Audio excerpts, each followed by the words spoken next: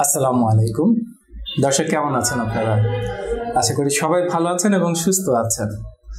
দর্শক, যত দিন যাচ্ছে, ক্রমেই আমরা দেখা যাচ্ছে ডিজিটালাইজেশনের উপর আমরা নির্ভরশীল হয়ে পড়ছি। একটা সময় ছিল যখন আমাদের পূর্বপুরুষ যারা ছিলেন, তারা প্রাকৃতিকভাবে তারা বড় হয়েছেন। প্রকৃতিতে যে ধরনের খাবার পাওয়া যেত, সেগুলো তারা সবসময় খাওয়া দাওয়া করেছেন, সবসময় ন্যাচারালি থাকার চেষ্টা করেছেন। এবং এই জন্য দেখা যেত যে তারা দীর্ঘায়ু লাভ করেছেন এবং দীর্ঘদিন তারা অসুস্থ ছাড়াও তারা বেঁচে ছিলেন দিনের পর দিন। বা যদিও তারা অসুস্থ হতেন, খুব শীঘ্রই তারা সুস্থ হয়ে যেতেন। বাট যত দিন যাচ্ছে, ততই আসলে খারাপের দিকে যাচ্ছে, পরিবেশ পরিস্থিতি সব কিছুই এখন আমরা ঘন ঘন অসুস্থ হয়ে যাচ্ছি, অল্পতেই অসুস্থ হয়ে যাচ্ছি, আমাদের ভিতরে রোগ প্রতিরোধ ক্ষমতাটা যেমন কমে গিয়েছে এবং পাশাপাশি দেখা যাচ্ছে আমাদের সুস্থতার হারও অনেকটাই কমে গেছে। বাট আসার বিষয় হচ্ছে সেটাই যে যত দিন যাচ্ছে ডিজিটালাইজেশন যত বেশি বাড়ছে, ঠিক তেমনি আমাদের চিকিৎসা ব্যবস্থা উন্নত হচ্ছে। আগে যেরকম দেখা যেত যে ছোটখাটো সিম্পল একটা যক্ষা রোগী দেখা যেত যে একটা মানুষ মারা যাচ্ছে।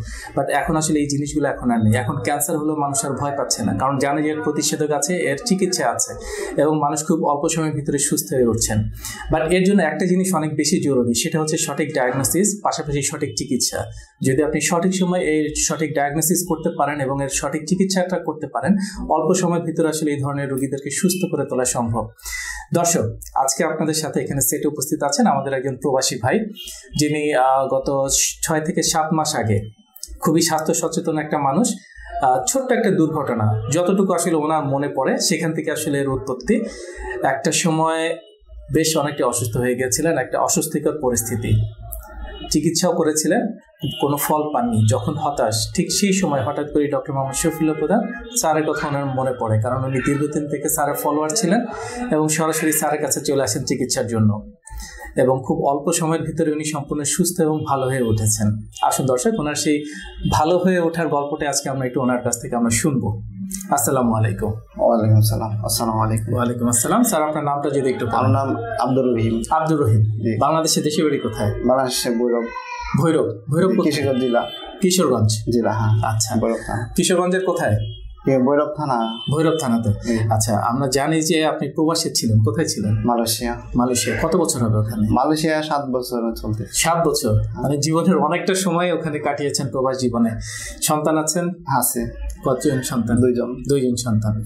আচ্ছা আমরা জানি যে আপনি ডক্টর মোহাম্মদ শফিউল্লাহ প্রধান স্যারের কাছে ট্রিটমেন্টের জন্য এসেছিলেন। হ্যাঁ। সেদিনের প্রথম ঘটনাটা কি হয়েছিল? এর উৎপত্তি কীভাবে এবং কি ধরনের সমস্যা আপনার ছিল যদি একটু বলেন। সমস্যা হলো আমি রুমের মধ্যে নিজে নিজে এক্সারসাইজ করছিলাম। তে জুইলা একটা এক্সারসাইজ আছে। ওই জুইলা এক্সারসাইজটা বলার খুব মানে পুশ আপ করছিলেন? পুশ আপ আচ্ছা। করছিলাম। এই করার পরেতে আপনার এই এই জায়গাটা একটা টান লেগেছিল। ছিল তখন কিছু বুঝতে পারেননি? তখন কিছু বুঝতে পারিনি। দুই একদিন পর হ্যাঁ, থেকে বুঝতে শুরু এই জায়গাটা ব্যথা ব্যথা ব্যথা। ব্যথা। ব্যথা। ব্যথা কয়েকদিন পরে আস্তে এ ফাও। এবং বাম হাত দেখছেন হ্যাঁ, ঝিঝি করছে। এবং পাশাপাশি কোমরে একটু ব্যথা হ্যাঁ, ব্যথা ব্যথা আছে। কোমর আছে পিঠে গাড়ে চলে আসতো। কম নিচে দিয়ে আবার নিচে চলে আসতো। প্রথম দিকে ভেবেছিলেন হয়তো ব্যথাটা সেরে যাবে ভালো হবে আমি তো ভাবছি অন্য কোনো ব্যথা নেই হ্যাঁ। পরে ভিডিও দেখলাম ইউটিউব কাটতে ভিডিও দেখলাম যখন দেখছেন যে ব্যথা হ্যাঁ। মানে যাচ্ছে না থেকে গেছে তখন কি করলেন? ওই তো যাচ্ছে না তখনই তো ইউটিউব ইউটিউব দেখা শুরু করলাম। এই কি সমস্যা এটা কি হলো? ওই ইউটিউবেতে সুবুল্লা স্যারের ভিডিও দেখলাম। অনেক সে লোকই ভালো হলো। তে আমার একটা মনে একটা আগ্রহ লাগল না বাড়িতে গিয়ে চিকিৎসা করলে ভালো হব আচ্ছা তার আগে আপনি ওখানে একটু চিকিৎসা করেছিলেন? হ্যাঁ ওই যে মালয়েশিয়া সেটা যদি একটু বলেন যে মালয়েশিয়া আমি ওইখানে আপনার আলট্রাসাউন্ড করছে আপনি অল্প ফর্সামল লোক। দিছে। মানে পুরো শরীর বলছে- তারা একটু চেক করেছে যে অন্য কোনো সমস্যা আছে কিনা চেক আপ করেছে কোনো সমস্যা নেই। আচ্ছা। ওইখানে তো মানে তারা বলছে কোনো সমস্যা নাই কিন্তু সমস্যা আপনি আপনার ভিতরে ফিল করছেন। ফিল আপনি তো ফিল করছেন যে কোমরে ব্যথা হ্যাঁ অনেক সারাক্ষণ হাতে ঝিঝি করছে পা ঝিঝি করছে কিছুক্ষণ বসে থাকলে ঝিঝিটা হ্যাঁ, বেড়ে যাচ্ছে মানে অস্বস্তিকর একটা পরিস্থিতি। হ্যাঁ কিছু নামাজ পড়তে গেলে ফিটের মধ্যে টান লাগছে। আগের মতো স্বাভাবিক কাজগুলো করতে কাজ পারছেন আগে যেরকম ভিতর থেকে একটা শক্তি অনুভব করতেন হ্যাঁ। এখন বলছেন যে সেটা নাই। তখন কি করলেন? তখনই তো ইউটিউব দেখে আমি না সবচেয়ে আমার না ডাক ডাক বাড়িতে যাইতে হবে বাড়ি থেকে চিকিৎসা করতে চিকিৎসা করবেন। ওই এবং সরাসরি। ওই জায়গায় কোনো ডাক্তার দেখেন সরাসরি সুবিল্লা স্যারের কাছে। স্যারের কাছে যখন প্রথম আসলেন স্যার দেখলেন হ্যাঁ, কি। বলেছিলেন মনে আছে? স্যারে বলছে আসছেন ইয়া ফর ট্রিটমেন্ট নিল নিয়ে আসার হচ্ছে গিয়া দিল পরীক্ষা টরীক্ষা দিল দিল তারপরে বলছে আমার ইয়ার মেরুদণ্ডের ডিসপ্রোলাপস হয়েছে হয়েছে এটার জন্য আপনাকে চিকিৎসা নিতে হবে। এবং আপনি ভর্তি হয়ে গেলেন হ্যাঁ, স্যার। তো অনেকদিন করা লাগবো বলি সতেরো দিন প্রায় সতেরো দিনের কথা বলেছিল। আজকে হ্যাঁ। কততম দিন আপনার? আজকে নয় দিন চলছে। নবমতম দিন। কেমন আছেন আজকে? হ্যাঁ আলহামদুলিল্লাহ ভালো। সেই প্রচণ্ড ছিচি হাতে হ্যাঁ। এবং পায়ে। কিছুক্ষণ। বসে থাকলে অস্বস্তিকর একটা সমস্যা।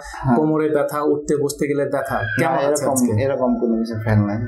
মানে ঠিক আহ, আগে ঠিক যেমন ছিলেন ব্যথা মুক্ত একটা মানুষ ঝিঝি মুক্ত একটা মানুষ হ্যাঁ। সেই মানুষটা আবার হয়ে গেছেন। হ্যাঁ।